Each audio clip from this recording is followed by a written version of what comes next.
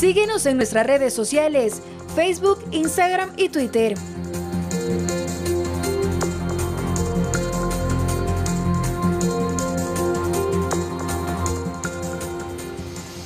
El presidente de la República inicia su tercer periplo del año eh, a un gran país, China, el gigante asiático, el mayor productor y consumidor de bienes y servicios del mundo, con quienes, eh, como lo ha dicho el presidente, se va a buscar primero un refinanciamiento de sus obligaciones o de nuestras obligaciones, que tienen una relación además con el petróleo, pero será la puerta de inicio de este diálogo para un gran acuerdo comercial.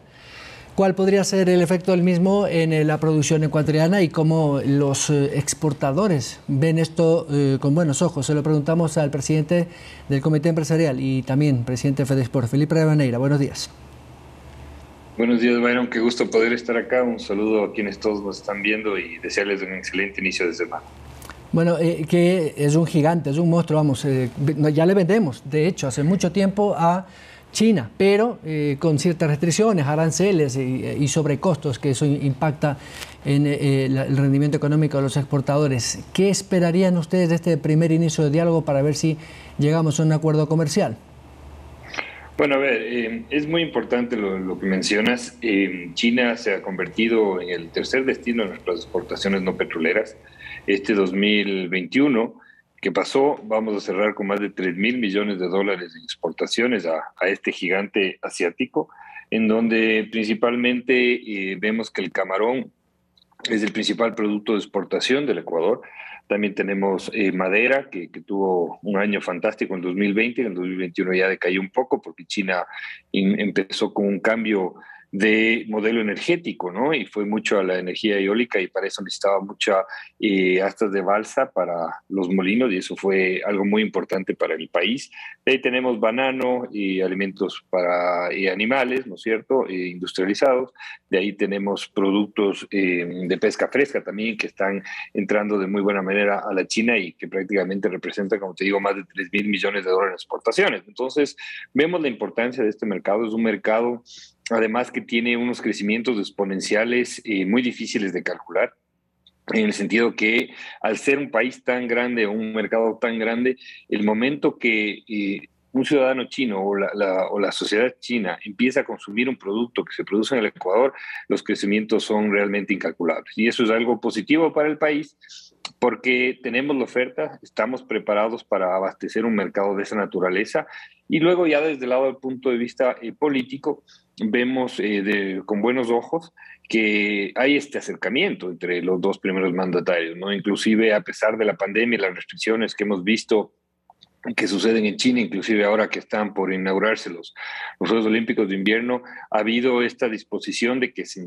dé este encuentro eh, eh, de primer mandatario, esta visita oficial de Estado, y esto yo creo que es fundamental, es muy importante por varios aspectos que nos eh, conciernen en la relación bilateral con la China. ¿no? Tenemos el aspecto de la deuda, es un aspecto realmente importante para nuestra economía, sabemos que va a haber una posición del Ecuador de tratar de negociar esta deuda de mejores términos, de más largos plazos, con menores tasas, que nos permita dar un oxígeno para podernos seguir desarrollando como país. Pero también está este componente comercial en donde se intentará ya suscribir un memorando de entendimiento para dar inicio a lo que sería unas negociaciones formales de un acuerdo de libre comercio. Eh, lógicamente China genera muchos temores, eh, genera muchos... Eh, se podría decir, análisis que se tiene que hacer de parte del lado industrial ecuatoriano. Sabemos del poderío industrial y manufacturero que tiene China, pero también tenemos otros antecedentes importantes de negociación que lo tuvo China en su momento, por ejemplo, con el mismo Perú, donde muchos productos que prácticamente son imposibles de competir se los pueden excluir de la negociación. Entonces vamos a estar muy pendientes, eh, deseamos que le vaya de la mejor manera al presidente de la República y a su equipo de ministros en esta visita que se va a dar en esta semana y de esa manera eh, poder ya tener unas líneas claras, una hoja de ruta clara para empezar eh, con este acompañamiento desde el primer inicio de parte del Comité Empresarial Ecuatoriano eh, de lo que sería un futuro de una negociación. No nos olvidemos que el Comité Empresarial Ecuatoriano constituyó instauró este cuarto adjunto.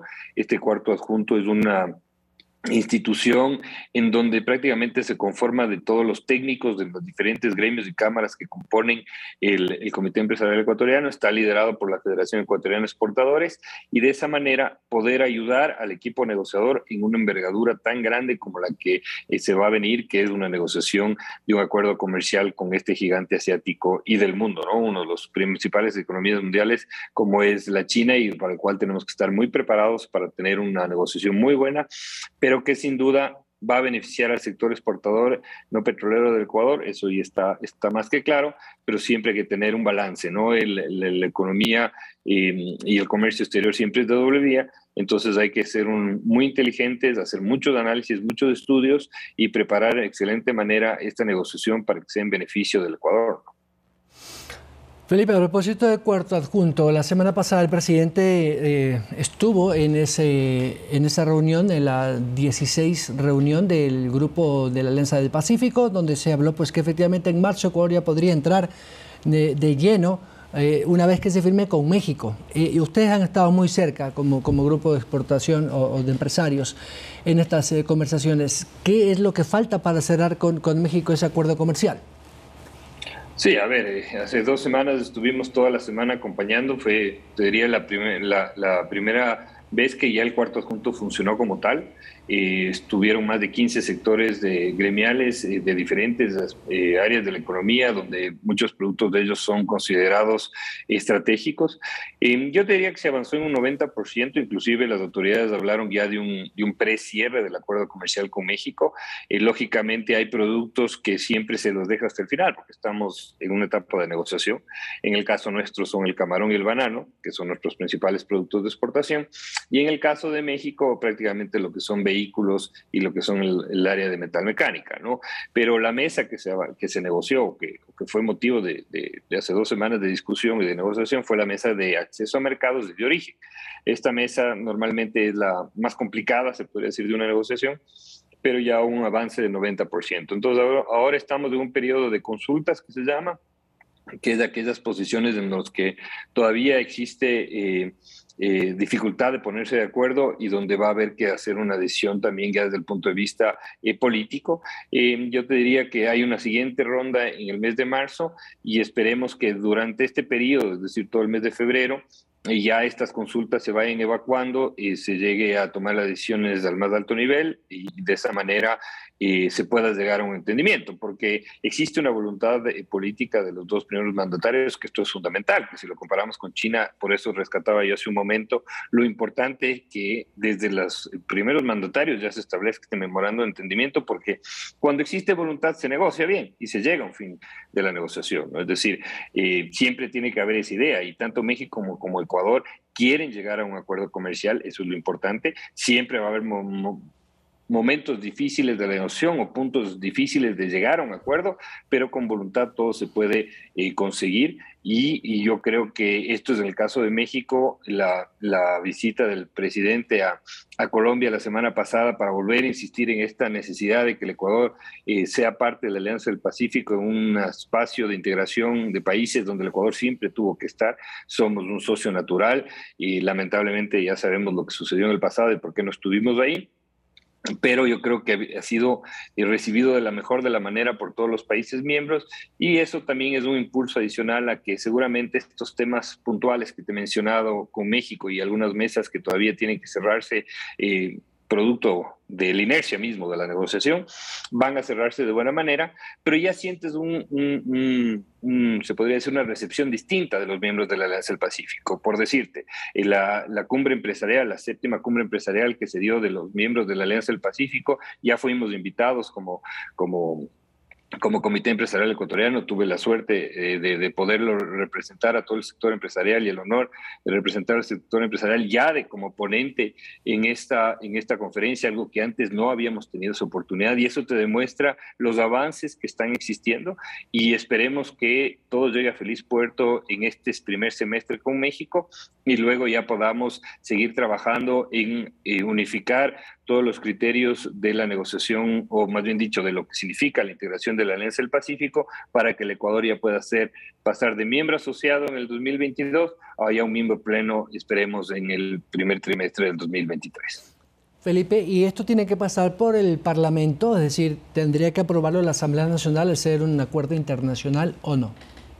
Sí, sí, sí, totalmente sí, ¿no? Es decir, eh, los acuerdos comerciales, de acuerdo a nuestra Constitución, tienen que ser primero revisados por la Corte Constitucional, es decir, que no tengan ningún eh, inconveniente o vicio de inconstitucionalidad, y luego tendrán que ser aprobados por la Asamblea Nacional. Pero en el caso de la Alianza del Pacífico se puede ir trabajando paralelamente, porque la Alianza del Pacífico, el requisito que menciona es que lo que tiene que haberse es acuerdos comerciales negociados, es decir, cerrados en la negociación. Entonces, en este caso con México, ya se cierra la negociación, obviamente va a haber el periodo de aprobación de, la Corte, de la Asamblea, etcétera, pero eso correrá paralelamente, ya que el requisito es simplemente no tenerlo aprobado por todas las distancias internas de cada país, sino cerrada la negociación. Entonces ya podremos, una vez que se cierre la negociación, empezar paralelamente los trámites los procedimientos para la Alianza del Pacífico, mientras recurre todos los procesos internos, tanto en México como en Ecuador, para que ya sea ley de la República el acuerdo comercial con México. ¿no?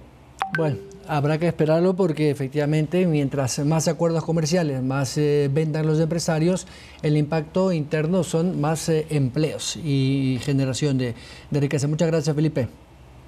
No, a ustedes siempre un gusto poderles atender y una excelente semana. Gracias al presidente del Comité Empresarial Ecuatoriano, Felipe Rivadeneira, 7 de la mañana, 45 minutos. Vamos a la pausa.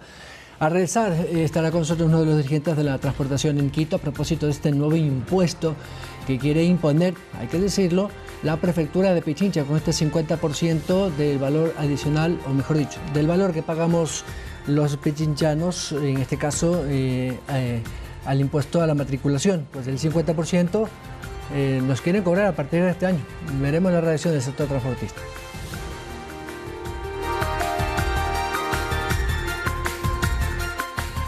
Somos retransmitidos por Pública FM, Quito, Guayaquil y Cuenca 105.3, Manta 88.1.